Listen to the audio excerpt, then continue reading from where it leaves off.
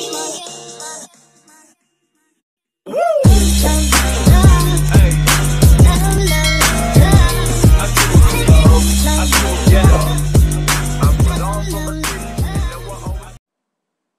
now let's look at how to find documents in the document register.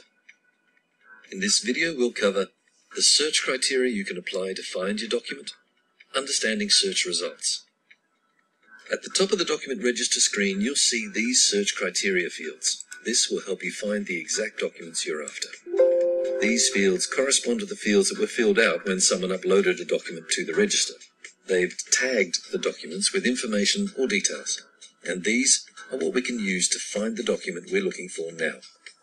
Today I'm looking for a civil drawing, so I select Drawing and click the search button on the right hand side. And you can see the number of results the search has brought back.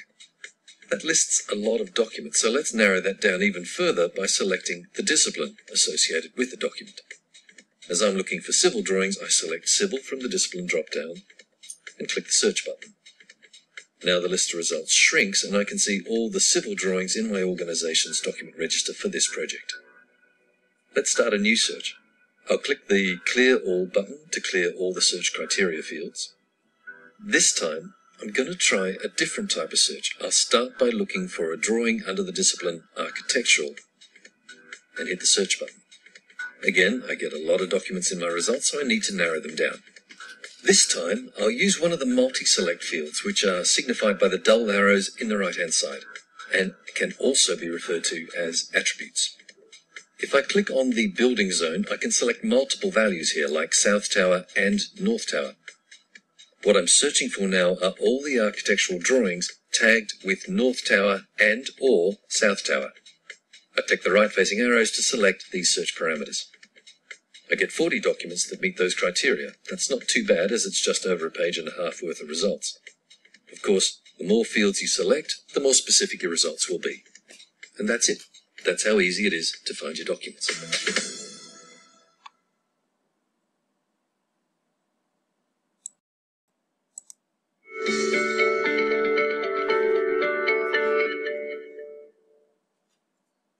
I'm Trev, and today I'm going to show you how to download a document from Aconex.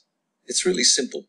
Here's a list of documents I found using a search, and here's the document I want to edit. To download it, I just click this file icon. On your system, the file might download automatically, but my computer's asking me to confirm the download.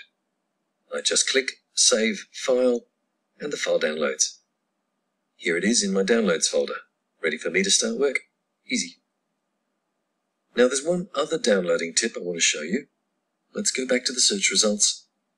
See this little arrow next to the file icon? If I click that, I see a menu that lists all the actions I can take with this file. From here, I can open the document on my computer or in Aconex. I can supersede it, see the event log, and so on. That can save you more than a few clicks each day. So, now you know how to download a document from Aconex.